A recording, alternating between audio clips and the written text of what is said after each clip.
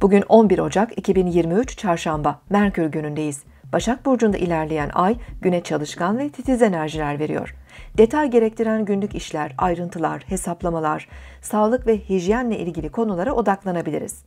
Öğle saatlerinde ay ikizler Burcu'nda gerileyen Mars'ta dik açı yapacak. Değişken ve hareketli enerjiler altında olabiliriz. Ancak huzursuz ve stresli de hissedebilir, tartışmalara ve kazalara da açık olabiliriz. Temkinli olmakta fayda var.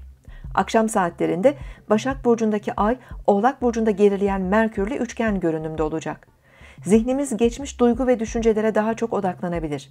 Yarım kalmış işlerle ilgilenebilir, daha önce planladığımız veya tamamladığımız konuları da gözden geçirebiliriz.